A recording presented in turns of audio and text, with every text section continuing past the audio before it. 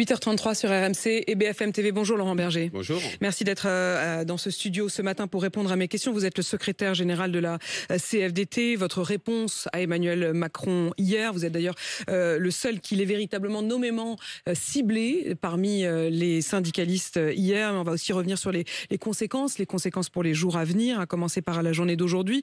Grande journée de mobilisation. Est-ce que ce sera l'ultime journée de mobilisation ou la poursuite du mouvement? C'est vous qui détenez la clé et vous nous le direz dans un instant. Mais d'abord, euh, je voudrais que vous puissiez répondre aux propos d'Emmanuel Macron, qui d'un côté dit qu'il faut renouer le dialogue avec les syndicalistes, mais qui de l'autre vous cible nommément, puisqu'il s'adresse au fond euh, à vous et qu'il considère que vous avez été désavoué par vos adhérents. On l'écoute. Je note que le secrétaire général de la CFDT, pour qui j'ai estime et respect, était allé devant son congrès en proposant d'augmenter les durées. Il n'a pas euh, été mhm. suivi par son propre. Mais il avait cette volonté de faire travailler davantage. Il nous aurait proposé un compromis. D'ailleurs, le gouvernement a changé les choses. On n'est plus à 65 ans en 2030, mais 64 ans et une accélération de l'augmentation de la durée de cotisation. Mais il n'y a pas eu de proposition de compromis pas de proposition de compromis et vous auriez été désavoué au fond euh, par euh, votre base. Que répondez-vous? Bah, C'est deux, deux contre-vérités. Je suis poli en le disant, je pourrais dire deux mensonges, parce que mais pour dire le mensonge, il faudrait que le président de la République ait connaissance de ce qui s'est passé. Je ne sais pas si c'est le cas. Donc, euh, je dis que c'est des contre-vérités. La première contre-vérité, c'est qu'au congrès de la CFDT, d'abord, un congrès, c'est quelque chose où on décide collectivement une orientation. Je crois que c'est noble dans une démocratie qu'il n'y ait pas. La, CFDT, ça s'incarne pas simplement dans Laurent Berger. C'est n'est euh, pas moi qui décide de tout en disant eh, hop, on va faire. C'est pas la verticalité qu'on connaît par ailleurs. Euh, c'est des décisions collectives. Mais au congrès de la CFDT, on a débattu de à l'avenir c'est quoi le meilleur, le meilleur vecteur si jamais il y a une espérance de l'augmentation, euh, une espérance de vie qui augmente et il y a euh, un, grave déficit qui met en danger, ce qui n'est pas le cas aujourd'hui, je le redis, le système des retraites, est-ce que c'est l'âge ou est-ce que c'est la durée de cotisation? Nous, on continue de penser que c'est la durée de cotisation, mais au Congrès, les gens ont dit oui, mais pour l'instant, on ne veut pas d'augmentation de la durée de cotisation, qui, je le rappelle, est déjà prévue d'aller jusqu'à 43 ans d'ici 2030-34. Euh, c'est la, loi Touraine qu'on a approuvée. Donc on n'a pas été mis en minorité. Enfin, j'ai été réélu, je crois, à 95%, ou je ne sais même plus le chiffre.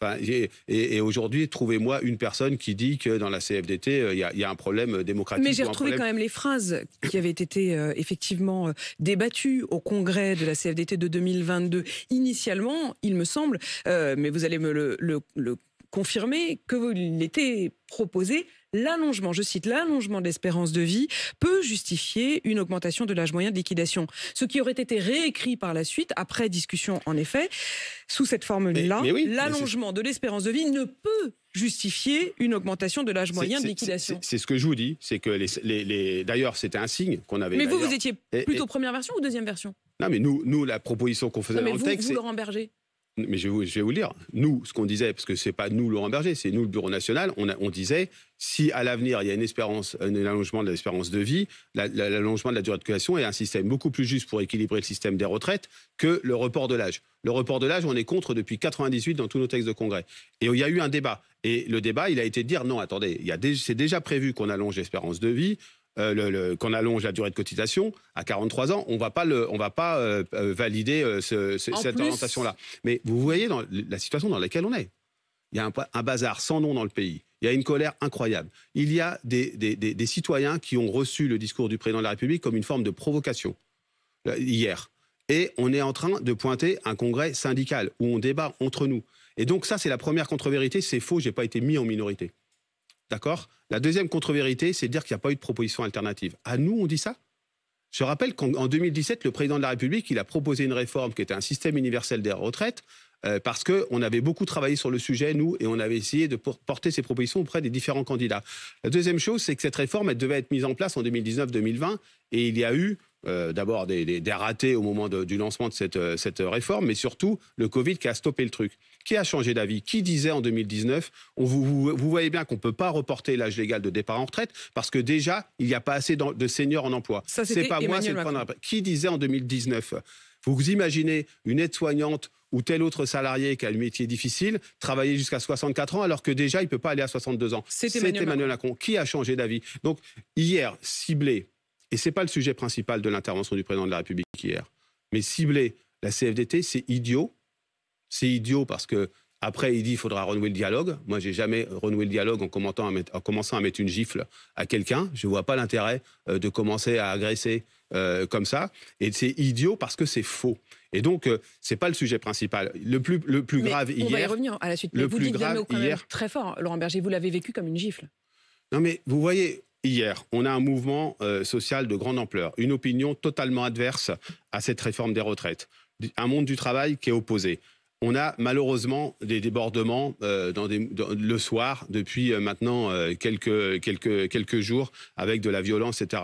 Et euh, le, sujet qui est sur la table, c'est la façon dont, dont aurait fait euh, le comportement de telle ou telle organisation syndicale. La CFDT, depuis le début. Pourquoi il fait ça ah, C'est pas moi pourquoi, qui pas moi qui Pourquoi il vous gifle comme mais ça C'est pas moi, c'est pas moi qui, qui peut y répondre. La gifle est peut-être un d'abord un mot un peu, non, mais après, Vous dites ce que vous avez ressenti, mais mais, mais, mais je vais vous dire une chose. C'est pas ça le plus important. Le plus important, c'est qu'hier, il n'a pas parlé aux salariés. Il n'a pas parlé à ceux qui se mobilisent contre cette réforme de retraite. On n'a pas entendu une seule incarnation concrète de la vie au travail de ceux et celles qui manifestent. C'est-à-dire qu'il faut, il faut revenir au fondamental des choses. Hier, il, y a eu zéro réponse au problème du pays en ce moment. Le problème du pays en ce moment, c'est quoi? C'est une opposition majoritairement opposée à une réforme qui a, fait, qui a été escamotée dans le débat parlementaire et qui a fait l'objet non pas d'un vote sur cette réforme, ce qui a été adopté par le la, voie d'une motion de censure au 49. Alors, euh, Emmanuel Macron et Elisabeth Borne utilisent le mot vote régulièrement depuis euh, le 49-3 et depuis surtout le rejet de la motion de censure en disant il y a eu vote. Ce vote, c'était pour ou contre ce gouvernement. Euh, et à neuf voix près, en effet, ils ont obtenu techniquement la majorité à neuf voix près, il y a eu une majorité. Mais vous vous dites c'est pas un vote, c'est pas un vrai vote. Non, non, si, si, c'est un vrai vote contre une motion de censure. La motion de censure, la question posée, c'est est-ce qu'il y a confiance ou non dans ce gouvernement Est-ce qu'il faut le faire tomber? Là, on va changer la vie de millions de travailleurs et travailleuses qui vont le vivre euh, dans leur chair, d'une certaine manière, en devant travailler deux ans de plus. Pour certains, ça va être très très dur, euh, sans qu'il y ait eu jamais un vote à l'Assemblée nationale sur cette mesure-là de 62 à 64 ans. Je l'avais condamné à l'époque en disant il aurait fallu voter sur cet article 7 et jamais, enfin. Pourquoi jeudi dernier, le choix n'est pas fait de voter? Tout simplement parce qu'il n'y avait pas de majorité sur ce texte. Ne me faites pas croire, ne faites pas croire aux Français que s'il n'y a pas eu vote jeudi, c'était parce qu'on préférait passer par une motion de censure, par, un vote sur une motion de censure. C'est tout simplement parce qu'il n'y avait pas de majorité. Et c'est maintenant il faut rassembler, soi-disant, c'était fait pour apaiser les choses, l'intervention. Il y a eu zéro réponse. Et donc maintenant, il faut, il faut se dire les choses. Euh, ça a augmenté plutôt la colère. Pour vous la colère Est-ce que vous jusqu'à dire, comme certains leaders de la CGT, que ça a soufflé sur les braises? Non, c'est parce que ça, ça montrerait qu'il faudrait mettre le feu. C'est parce que c'est à quoi j'appelle. Mais euh, ça a augmenté la colère. On l'a ressenti hier, euh, et sans doute ça a augmenté la détermination pour des mobilisations euh, aujourd'hui. Moi, je souhaite qu'elles soient nombreuses et je souhaite qu'elles soient pacifiques et responsables. parce que vous savez, hier, il y a d'autres choses qui sont qui sont quand même un peu interrogeantes dans, dans cette Allez-y, parce qu'ensuite on va revenir sur cette le question premier de point, Le premier point, c'est mes prédécesseurs ont mis la poussière sous le tapis. Depuis Jacques Chirac, il n'y a pas un président de la République qui n'a pas fait une réforme des retraites. Il n'y en a pas un. Donc c'est insultant pour ses prédécesseurs, vous trouvez? C'est surtout que c'est faux. On ne peut pas dire ça. Comment vous dites ça à des gens qui, en 2003, les, les, agents publics, en 2003, ils sont passés de 37 ans et demi de cotisation à 40 ans de cotisation. En 2010, il y a eu de 60 à 62 ans. Et je vous dis, des réformes où on était pour ou contre, ça, dépendait. Les, les, mm. les réformes, c'est pas le sujet. Et en 2014, on a été jusqu'à 43 années de cotisation euh, prévues. Ben, qui peut dire que ça a eu la poussière mise sous le tapis? Le système des retraites en 2003 était gravement menacé dans son existence même parce qu'il y avait des, lourds déficits qui n'avaient rien à voir avec les déficits d'aujourd'hui. Et il y a eu des réformes qui ont été faites. Donc ça, c'est un premier, c'est une première contre-vérité. C'est pas vrai de dire que les autres ont mis la, poussière sous le tapis. Et puis le deuxième point, c'est qu'à un moment donné, on a l'impression qu'il y a le camp de la responsabilité, qui est le président de la République, il et le camp des irresponsables. Il a eu cette phrase, Emmanuel Macron, il dit on n'est pas concurrencé sur le sens des responsabilités. Mais à qui il dit ça? À vous, je pense. Mais c'est pas vrai. Enfin, ça peut pas être aux organisations syndicales qui, depuis le début, font des mobilisations, qui sont des espaces euh, de, démocratiques où euh, il n'y a pas de débordement. Ça peut pas être, ça peut pas être. Il peut pas y avoir dans une démocratie quand on est en désaccord. Il peut pas y avoir un responsable et un tas d'irresponsables. Il y a des gens qui sont pas d'accord. Donc, vous voyez, on n'est pas dans le domaine moral, on n'est pas dans le domaine philosophique. On est dans la vraie vie en ce moment, dans ce qu'on est en train de traverser, la vraie vie au travail. si je vous écoute. Oui, enfin, en tout cas, ce qui est, c'est, je crois que ça n'a pas persuadé euh, grand monde, et surtout, c'était pas la réponse qui était attendue. Je pense qu'il y a besoin de temporiser. Je pense qu'il faut, il faut retirer. Mais je pense que ce vous, texte... vous dites qu'il faut retirer le texte. Oui, c'est, il faut, mais, mais il faut. Il n'y a pas d'autres, il y a pas d'autres, il y a pas mais, mais regardez ce qui a été dit aussi sur la suite. Et la suite. euh, Il dit qu'il faut réengager très vite, dans les trois semaines, un mois, des discussions concrètes avec les partenaires sociaux. Il exclut les grands messes, dit-il, et il appelle à la bienveillance. Et, et- et de quoi il, il parle Euh, Il parle. Il parle de l'usure professionnelle, de la fin des carrières, des reconversions, des branches qui payent en dessous du SMIC, des rémunérations tout au long Voilà. de la carrière Et et, donc- du rapport et au donc, travail. usure professionnelle, fin des carrières, etc. C'est un sujet qui est en lien avec les, Les retraites. retraites. Pourquoi on ne l'a pas fait dès le départ comme on le proposait tous? Pourquoi on n'a pas commencé à parler du travail?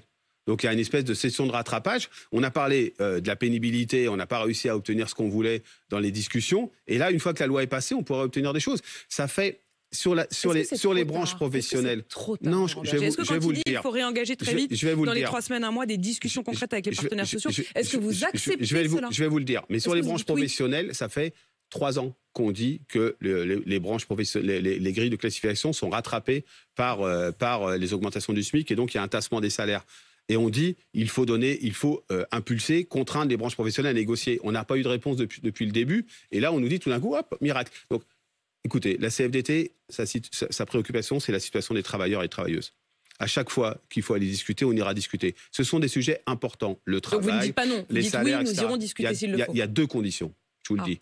La première condition, c'est la méthode. Ça veut dire quoi Concerter, discuter avec les partenaires sociaux? Si c'est ce qu'on a connu ces derniers mois, euh, d'abord avant, le- mois de janvier, c'est-à-dire en gros, on vient, on vous écoute, mais de toute façon, à la fin, sur certains points, notamment les 64 ans, on s'en fout de vos mesures alternatives, on, s'en fiche de vos, pr- vos propositions que nous avons faites, nous ne sommes pas les seuls, mais on fait ce qu'on a envie de faire, ça c'est non. Donc il faudra définir la méthode. Ça veut dire quoi à la fin Le compromis possible? Si c'est vous m'avez écouté et vous dites merci, euh, eh ben non, ça marche pas comme ça. Il faudra rentrer. Le deuxième point, c'est jusqu'où on veut aller. Si c'est pour des mesures cosmétiques, c'est sans nous. Si c'est pour faire mine, c'est sans nous. Il faut changer fondamentalement les choses sur le travail, fondamentalement les choses sur la répartition de la richesse dans l'entreprise, etc. Donc, euh, euh, Et vous sur voyez, le timing, voilà. dans trois semaines, un mois? Euh, après, il y aura un délai de décence, vous voyez. C'est quoi le délai de décence? Bah, délai de décence, c'est que je ne vais pas me précipiter la semaine prochaine à discuter avec M. Dussopt que j'ai pas vu depuis début, jan- début janvier. Vous voyez? On n'a pas été reçu par euh, le courrier des organisations syndicales quand on écrit au président de la République. Il dit on voudrait être reçu parce qu'il y a un climat compliqué et on voudrait pas que la situation devienne explosive. La réponse qu'on nous fait, c'est on ferme la porte.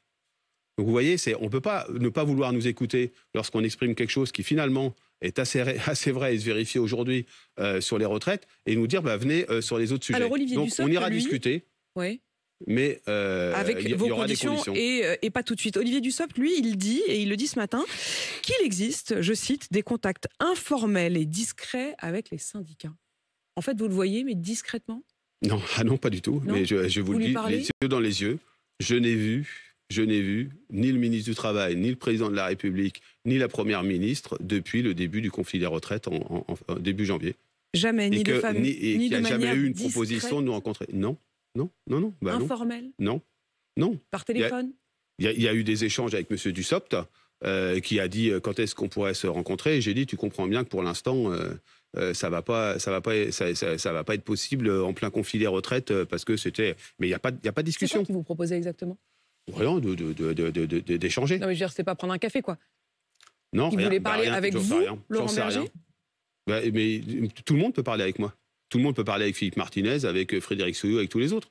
Je veux dire, où est le problème? Il y a des, il peut y avoir Mais des échanges téléphoniques. Mais non, j'ai pas refusé. J'ai dit, euh, moi, je veux savoir pourquoi on se voit, pourquoi on se voit, sur quoi on se voit, etc. Hmm. Bah, on est en conflit, Sinon, en plein, on est en vous, pleine conflictualité. un peu le côté pas- euh, piégeux? Attendez. Non, non, mais c'est pas le problème. Pourquoi- mais on a demandé à allez le pas? Rencontrer. Enfin, Bah oui, mais dans- alors, là, là, j'avoue, euh, c'est moi qui ai du mal à comprendre du coup là ce matin, euh, Laurent Berger, parce que vous dites on l'a demandé à le rencontrer.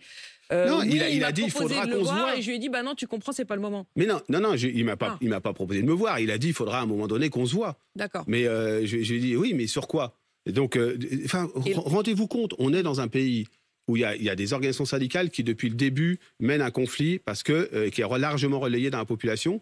Et il n'y a eu ni rencontre avec le président de la République, avec le Premier ministre ou avec le ministre du Travail. C'est quand même un vrai problème. Et donc, aujourd'hui, on nous dit, tout ça va être derrière nous, il y a une ardoise magique, on oublie les retraites, euh, essayez de... Voilà, il faut vous calmer, en gros. Et puis de l'autre côté en disant mais par contre on va vous dire Alors va justement sur la question de se calmer, il y a plusieurs points encore que je voudrais évoquer avec vous, qui sont euh, notamment la dégradation des manifestations, mais encore un mot des propos d'Emmanuel Macron hier, qui a mis en garde les manifestants contre une tentation de renversement. Il a pris l'exemple du Brésil euh, ou des suprématistes trumpistes qui avaient euh, envahi le Capitole en disant quand on voit ce qui s'est passé euh, là-bas, eh bien parfois il faut faire attention, il faut dire on respecte, on écoute, mais on ne peut accepter ni les factieux ni les factions. Là, il y a deux, il y a, il y a deux, il y a deux choses.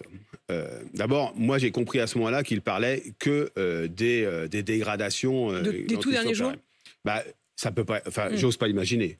Bah, j'ose pas imaginer qu'il puisse comparer les mobilisations, celles d'aujourd'hui comme celles qui ont eu lieu précédemment, à des, à des mouvements euh, euh, populistes d'extrême droite qui se sont euh, développés aux États-Unis ou, ou, ou au Brésil. Je rappelle qu'au Brésil, le, le, la- la- le, le- le parcours, le compagnonnage entre Lula et la CFDT était quelque chose d'extrêmement puissant et extrêmement ancien. Donc, euh, on va pas Donc, être vous de comparé au l'autre côté, ce bolsonarisme. serait pas possible. Donc, ouais. J'espère, j'espère que c'est pas ça. Mais il n'y a pas besoin de dire ça, en fait, quand on veut un discours.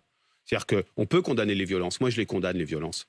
D'ailleurs, euh, j'alerte aussi sur des images qu'on a pu voir euh, de, et pourtant, euh, je, je- je- je suis très mesuré sur ces questions-là, mais sur les questions aussi de, de violence, euh, y compris parfois à l'égard de, la part de certains policiers. Je dis attention sur cette affaire-là. On est en train de voir des choses là qui, des deux côtés, me posent, posent problème. C'est la première fois que vous allez sur ce terrain-là, Laurent Berger. mais, je vais sur ce terrain-là parce que je suis comme d'autres et je demande. Moi, il y a des gens. Là, vous a- avez un doute sur l'attitude des policiers. non, j'ai vu, on, on a tous vu des images, mais on, Mm. ne voit pas forcément ce qu'il y a avant, euh, ce qu'il y a après, mais des images qui sont choquantes, notamment à l'égard de ce SDF qui est traité de, de, de- de grosse merde ou je ne sais quoi. C'est pas tolérable ça. C'est pas tolérable Mm. de la part des forces de l'ordre.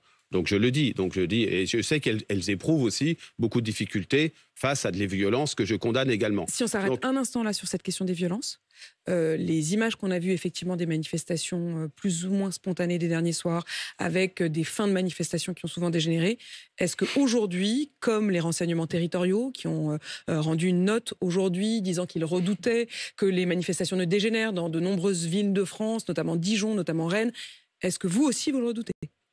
Mais je le, redoute et surtout j'appelle au calme les manifestants qui viennent pour protester contre la réforme des retraites.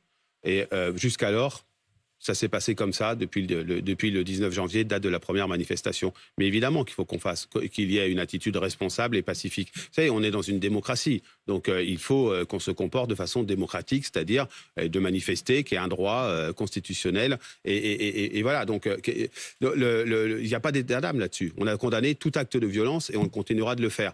Mais ce que je dis, c'est euh, on peut pas se servir. Hier, il y a eu plus de mots sur, cette, euh, sur euh, les, les- actes de violence qui se sont opérés ces derniers jours que sur les, immenses mobilisations qui se sont opérées.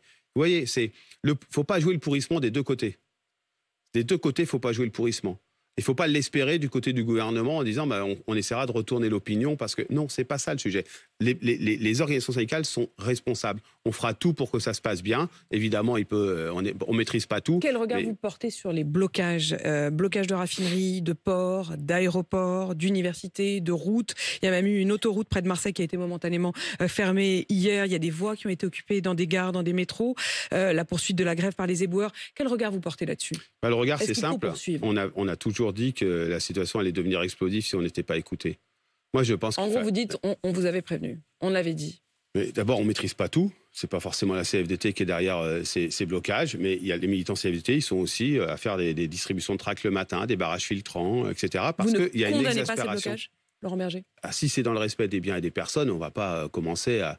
C'est la stratégie d'action qui est menée par des, certains champs professionnels, et je vous le dis franchement, il faut entendre l'exaspération. C'est-à-dire que, je l'ai dit euh, peut-être ici d'ailleurs, que le moment où on passe euh, de, de- à la colère, euh, c'est compliqué. Et Il y a, qu'il faut que il y a ça une forme de colère qui existe. Il faut, la, faut il faut canaliser. Et est-ce qu'il faut Non, la canaliser il faut Oui, mais est-ce qu'il faut mais que il les faut grèves écouter, mais il faut écouter. Hier, il y avait quand même un rendez-vous. C'est le président de la République qui parle. Est-ce qu'il a un discours apaisant? Non. Donc on veut, moi, je porterai toutes les responsabilités qui sont les miennes. Est-ce que vous appelez je- à ce que la mobilisation se poursuive au-delà de cette journée? Est-ce que ce sera une ultime journée? Euh, La loi, au fond, a été adoptée. Elle n'est pas validée par le Conseil hier. constitutionnel pour Donc ça veut l'instant. dire quoi? Ça veut dire que votre limite, ce sera le Conseil constitutionnel? Est-ce que ça veut dire Vous que savez- pendant un mois, ça devrait savez, durer trois semaines, un Je, mois? je vais, je vais poser la question différente. D'abord, on décidera ce soir en intersyndical, euh, au siège de la CFDT, ce qu'on fait ensemble. Le deuxième point, c'est, je pose une question.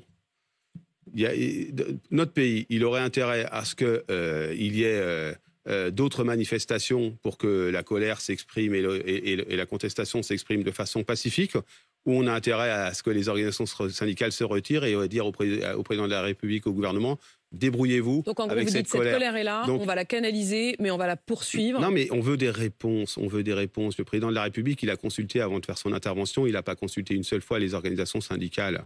Si je comprends bien, Laurent Berger, il va falloir comprendre que dans ce pays, il y a un problème, il y a une cassure démocratique. Et que hier, on avait un émetteur et des récepteurs. Et je crois que les récepteurs, ils n'ont rien reçu. Vous voyez ce que je veux dire? Et qu'il va falloir qu'on euh, reparte. Euh, Ça veut dire, Laurent Berger, et je vous sens très mobilisé euh, ce matin, absolument pas résigné. Vous considérez qu'après la journée d'aujourd'hui, il y aura donc une intersyndicale ce soir et probablement une autre date et des appels à nouveau à la mobilisation, mais, voire mais à la vous savez pourquoi je suis pas résigné? Parce que j'ai des visages dans la tête. Parce que moi, ça veut dire quelque chose, cette réforme des retraites. C'est des femmes et des hommes qui, encore tous les jours, continuent de m'envoyer des mails pour me dire quelle est leur situation concrète et comment ils vont devoir le vivre. Et ça, c'est de ça dont il faut parler. C'est-à-dire qu'on ne peut pas faire quelque chose de surplombant. Et Maintenant, il faut regarder les choses. donc aujourd'hui, vous verrez qu'ils seront encore dans la rue. A manqué euh, hier. Laurent Berger, je comprends donc qu'il y aura sans doute d'autres rendez-vous, rendez-vous et en tout cas ce soir. ce soir en intersyndical. Secrétaire général de la CFDT, merci d'être venu.